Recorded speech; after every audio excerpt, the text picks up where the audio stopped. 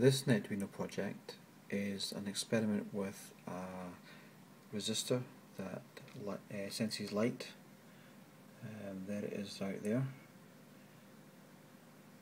Uh, we've got a, another resistor there in the circuit and the idea is that it measures the amount of light in the environment and depending on how much light there is it will cause the onboard LED to change how fast it uh, flashes.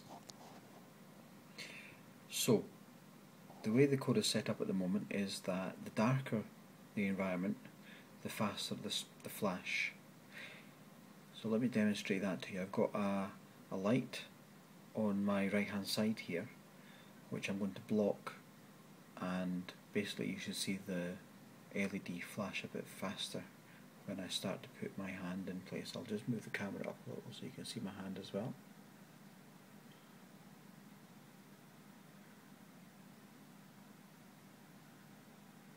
So there you go, it's starting to flash a bit faster.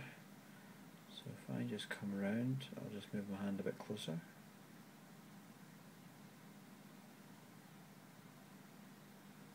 Flashing faster. There you go, I'm still about an inch away from the the surface.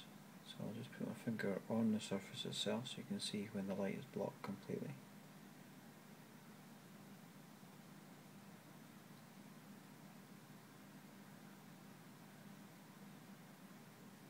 Move my hand away again. We start to slow down, move a bit closer. Flashing. Further away, slower and as more light gets to the sensor it's even slower again. That's a slight demonstration of uh, a resistor that senses light. Thank you.